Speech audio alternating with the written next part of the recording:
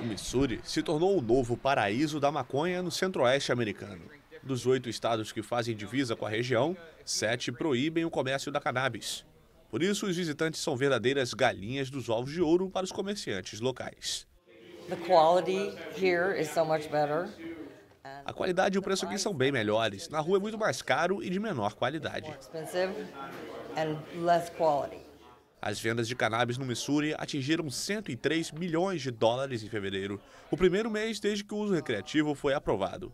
O valor é quase o triplo do registrado em janeiro, que ficou em 37 milhões de dólares.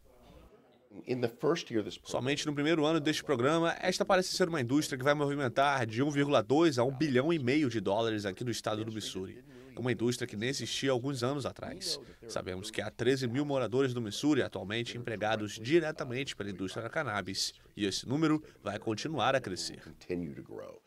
O diretor de cultivo da empresa Illicit Gardens disse que dentro de três semanas a produção vai gerar 680 quilos de flores por mês.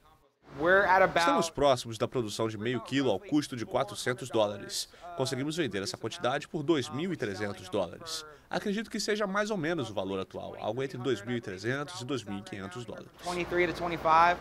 O Missouri não começou do zero. O estado permite o uso medicinal da maconha há mais de dois anos. No outono de 2022, a campanha pela legalização se baseou justamente no sucesso do programa, que gerou vários empregos na região. No final, mais de 53% do eleitorado apoiou a legalização da maconha no Missouri, um estado tradicionalmente de direita.